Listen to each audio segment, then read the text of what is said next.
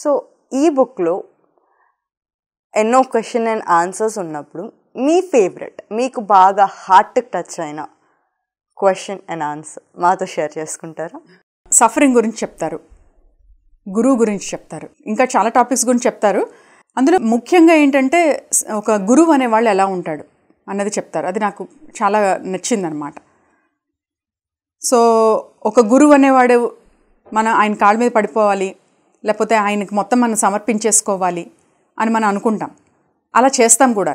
కానీ అలా చేసినప్పుడు దాని అర్థం ఏంటి అంటే ఇంకొక డైమెన్షన్లో చెప్తాడు. నువ్వు ఎప్పుడైతే సరెండర్ అవుతావో గురువుకి దాని అర్థం ఏంటి అంటే నీ పవర్ అంతా ఆయనకి ఇచ్చేసినట్టు కాదు. ఆయన దగ్గర నుంచి నువ్వు పవర్ తీసుకోవడం మొదలెడతావు. ఎందుకంటే ఇక్కడ నువ్వు సరెండర్ చేస్తుంది నీ ఈగోని అప్పుడు అక్కడి నుంచి నీకు పవర్ రావడం మొదలవుతుంది. ఎప్పుడైతే నువ్వు సరెండర్ అవ్వవో నువ్వు నీ ఈగోతోటే ఉంటావు. సో నీకు ఏ పవర్ ఏ నాలెడ్జ్ నీ దగ్గరికి రాదు. ఈ పాయింట్ నాకు చాలా బాగా నచ్చింది. అట్ ది సేమ్ టైం ఒక గురువు ఎలా హీల్ చేస్తాడు? హీలింగ్ గురించి కూడా చెప్తాడు. జనరల్లీ మనం హీలింగ్ అంటే ఏమనుకుంటాం? ఒక గురువు నెత్తి మీద పెట్టేస్తే తలనొప్పి పోతుంది క్యాన్సర్ పోతుంది అని వచ్చి పెట్టండి అని చెప్పేసి అని వెయిట్ చేస్తాం. కానీ యాక్చువల్గా ఒక గురువు ఎలా హీల్ చేస్తాడు అంటే నీ సరికాని ఆలోచన విధానాన్ని సరిచేస్తాడు. ఎర్లియర్ నేను నా ఎక్స్పీరియన్స్ చెప్పాను పత్రి సార్తో. సింపుల్గా ఒకటే చెప్పారు. మీరు చూడాల్సింది పైన అవుటర్ అపియరెన్స్ కాదు ప్రిన్సిపల్స్ బ్లాస్ట్ అయిపోయింది. హీల్ చేసేసాడు అప్పటి ముందు క్షణం వరకు ఉన్న డిప్రెషన్ తర్వాత లేదు. అంటే అక్కడ ఏం జరిగిందంటే ఆ కరెక్షన్ అనేది చేస్తారు. ఎర్రర్ ఎర్రర్ ఇన్ థింకింగ్ అంటాడు. అవును మన సఫరింగ్ ఏదైనా కానీ వీడు కారణం వాడు కారణం వీళ్ళు వీళ్ళు ఇలా అనుకుంటూ వెళ్తాం కానీ యాక్చువల్గా మన థింకింగ్ ప్రాసెస్లోనే ఎన్ని తప్పులు ఉన్నాయి ఎన్ని ఎర్రర్స్ ఉన్నాయి అనేది అస్సలు అర్థం కాదు. ఎందుకంటే అందరూ అలానే ఉన్నాం కదా. కరెక్టే కదా కరెక్టే కదా అని అందరూ అలాగే అంటే అంటారు. సో మన చుట్టుపక్కల ఉన్న వాళ్ళకి కూడా ఏమీ తెలియదు మనకి ఏమీ తెలియదు వాళ్ళు ఏడుస్తారు మనము ఏడుస్తాం. కరెక్టే కదా అంటాం. కానీ యాక్చువల్గా ఏంటంటే మనం నిజంగా ట్రూత్ అంటే ఏంటి అంటే ఎవర్ హ్యాపీ స్టేట్.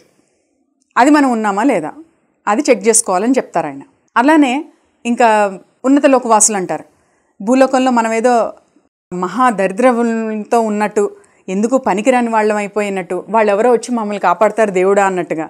అలా అంటారు. కానీ యాక్చువల్గా ఇక్కడ ఏంటంటే ఆయన ఎంత అద్భుతంగా ఒక డిఫరెంట్ డైమెన్షన్లో చెప్పారంటే వాళ్ళ జీవన విధానం వేరు మీ జీవన విధానం వేరు. వాళ్ళకి వాళ్ళ సోర్స్తో కనెక్ట్ అయి ఉన్నారు మీరు కట్ ఆఫ్ అయిపోయి ఉన్నారు. చెట్లు మనకు ఆక్సిజన్ ఇస్తాయి అవి మన కోసమే ఉన్నాయని మనకు తెలుసు. ఆయన కట్ చేస్తాం. ఒక చిన్న సింపుల్ విషయం మనకి తెలిసి మనం తప్పు చేస్తాం. ఒక చిన్న చిన్న వెరీ బేసిక్ థింగ్ చెప్తాను పొగ తాగితే క్యాన్సర్ వస్తుంది ప్రాబ్లమ్స్ వస్తాయని తెలుసు. అయినా తాగుతాం. వి డోంట్ కేర్ పట్టించుకోం. సో చాలా చాలా ఇలా చిన్న చిన్న విషయాలే. అక్కడేంటి? వాళ్ళ స్పృహతో ఉంటారు కాబట్టి వాళ్ళు అద్భుతంగా కనిపిస్తారు. ఇక్కడ మనకు ఆ స్పృహ లేదు. ఒకవేళ తెలిసినా చెప్పే ప్రయత్నం చేసినా ఎవరు వినరు. తెలుసు కానీ వినరు. సో ఇట్లాంటి మైండ్ సెట్స్తో ఉంటాం కాబట్టి మరి ఆబ్వియస్గా మన జీవితాలన్నీ ఇలానే అయిపోతాయి. సో మన పవర్స్ అన్నీ కూడా మనం తెచ్చుకోలేం స్పృహలోకి. రోజువారీ జీవితాలన్నీ రోటీ కప్పడం మకాన్. దీనికి గురించే ఉంటాయి. గమనించుకోండి. దీని మీదే ఉంటాయి. ఇంకేం ఉండదు. వాళ్ళు ఇలా అన్నారు వీళ్ళు అలా ఉన్నారు రేపు పొద్దున ఎలాగా ఇదేలాగా అదేలాగా ఇదే ఇదే ఇదే చుట్టూరా తిరుగుతూ ఉంటాయి అన్నమాట. సో ఉన్నత లోకవాసులు అని అంటాం. వాళ్ళు ఏంటంటే వాళ్ళు దాని గురించి ఎక్కువగా పట్టించుకోరు. అదేంటి అలా ఎలాగా అంటే వాళ్ళ అవసరాలు తగ్గించుకుంటూ వెళ్తారు. సింపుల్ లాంగ్వేజ్లో అర్థమయ్యేలాగా పాయింట్స్ చెప్తారు. అంటే మనకు తెలియనివి కాదు మర్చిపోయాము. ఆ విషయాన్ని మళ్ళీ తిరిగి గుర్తు చేయడం. ఇట్లా చాలా విషయాలు. సో ఎక్స్పీరియన్స్ అంటారు. ఎక్స్పీరియన్స్ అయితే ఒక అనుభవం అయితే కానీ నువ్వు మర్చిపోవు అని అంటారు. కానీ మన ఎక్స్పీరియన్స్ని కూడా డిస్కార్డ్ చేసేస్తాం. పక్కన పెట్టేస్తాం. ఎంత ఎక్స్పీరియన్స్ అయినా. సో అట్లా ఎన్నో విషయాల గురించి చెప్పుకుంటూ వస్తారు. ఫ్యూ కాన్సెప్ట్స్ ఫ్యూ టాపిక్స్ అనమాట ఇట్లా కంప్లీట్గా ఎన్ని టాపిక్స్ మీద అనాలిసిస్ చేసి వాళ్ళ యొక్క ఎన్లైటన్ చేస్తూ ఉంటారనమాట అన్న ఈ టాపిక్స్ అని నైస్.